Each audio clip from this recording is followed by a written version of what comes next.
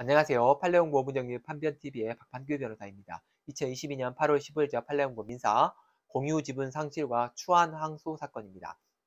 선고일은 2022년 6월 30일이고 사건 번호는 2020-210686 판결입니다. 이 사건은 이제 공유물 분할 및 부당이득 청구인데요. 원고는 이제 10분의 15, 15분의 10 지분권자고 어, 피고들은 15분의 3 지분권자입니다. 15분의 3 지분권자인 피고들이 이제 음, 패소했다가 상고에서 파기 환송된 사건이죠. 내용 보시죠. 근데 원고는 어, 10, 15분의 10 지분을 갖고 있었고요.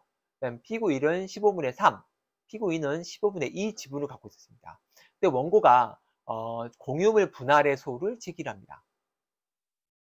그래서 피고들에 대해서 공시송달로 1심을 진행을 했더니 감정가액이 4,800원이 나왔어요. 그러니까 원고가 그 1심 판결에 따라서 어, 피고 1과 피고 2에 대해서 960만 원하고 640만 원을 지급하면서 어, 분할에서 어, 소 지급함과 동시에 이제 분할 소유, 소유권 이전 등기 판결 그러니까 이렇게 하는 거죠. 그러니까 분할을 이렇게 했는데 어, 원고가 토지를 가지고 어, 현금 분할을 해주는 거죠.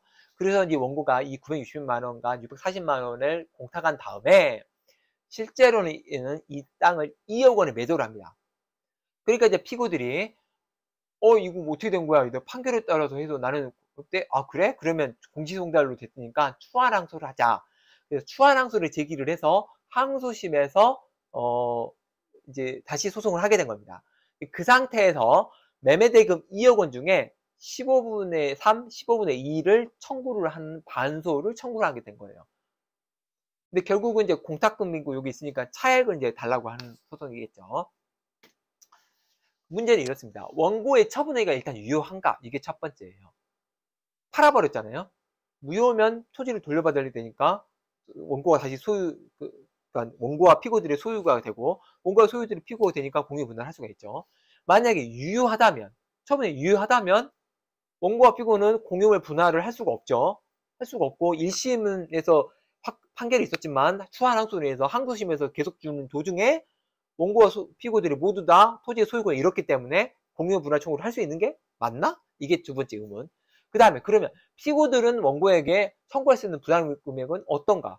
1심 판결은 이미 항소에 의해서 확정이 안 됐고 없어졌어요. 그러면 분할은 2억 원을 기준으로 할 것인가? 4,800 원을 기준으로 할 것인가? 이게 이제 문제가 된 거죠. 대법원은 뭐라고 하냐면 1심 판결이 취소되더라도 무효행위에 대한 추인은 가능하다. 그런데 피고들이 지분 처분 유효를 전제로 부당이득 반환 청구를 했기 때문에 무효행위 추인으로 볼 수 있다. 무슨 알겠죠? 1심 판결에 따라서 하긴 했는데 1심 판결이 추한 항소에서 항소가 됐기 때문에 확정판이 없어요. 따라서 이 사람은 아직 남의 처분, 남의 지분을 팔 수 있는 권리자가 아니에요. 원고는. 15분의 그 5는 팔았지만 무효가 될 수가 있어요. 그래서 이 무효에 대해서 어, 나중에 이제 이 피고들이 매도인을 상대로 돌려받을 수가 있는 거죠. 그런데 그 무효행위를 추인할 수도 있어요. 그러면서 이 피고들은 매매대금 2억 원 중에 내목 달라고 했기 때문에 추인한 걸로 볼 수 있다. 결국은 유효하게 돼버린 거죠. 그러면 원고의 처분이 유효하다. 그런데 공유금융 분할은 변론 종결 당시에 소유자끼리 하고만 하는 소송이에요. 그런데 유효하다면 원고 피고 아무도 이 땅의 소유자가 아니죠. 따라서 공유의 분할 청구는 부적법하다. 근데 일심 그 원심은 그걸 전제로 분할로 해서 해줬거든요. 근데 그건 잘못됐다. 따라서 그 무효인 처분행위에 기한 고매매 매도행위, 그거에 대한 이득을 어, 원고가 반환해야 된다. 결국 2억 원에 대해서 3분의 1, 그 다음에 15분의 3, 15분의 2를 피고들한테 돌려줘야 되는 겁니다. 기준이 2억 원이 기준이 되는 거예요. 4,800원이 아니라. 왜냐하면 그거는 이미 판결이 항소가 됨으로써 판결이 확정이 안 됐기 때문에. 결국은 1심 판결은 추한 항소에서 확정이 안 됐어요.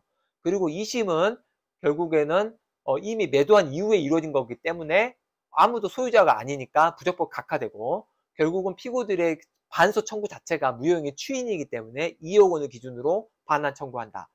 그래서 결국은 이 사건은 이제 공유물 분할 청구를 대상 적법 요건이 무엇이냐 요거에 의해서 결정이 됐고 그 이후에는 논리적 귀결로 매매, 매도 대금 상당히 2억 원을 기준으로 나눌 수밖에 없게 되는 사항입니다. 이상 마치겠습니다. 감사합니다.